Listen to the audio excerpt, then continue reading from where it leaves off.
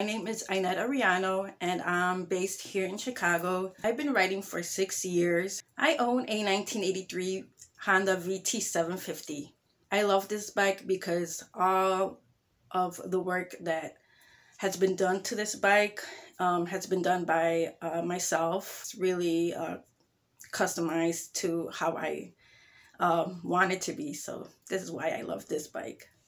On my free time, I like to work on bikes as well and just hang out with friends. I love it because like it connects me with so many uh, new people and I've made so many friends riding motorcycles. I ride with the Bleeders here in Chicago as well as the queer group Bikes and Mics.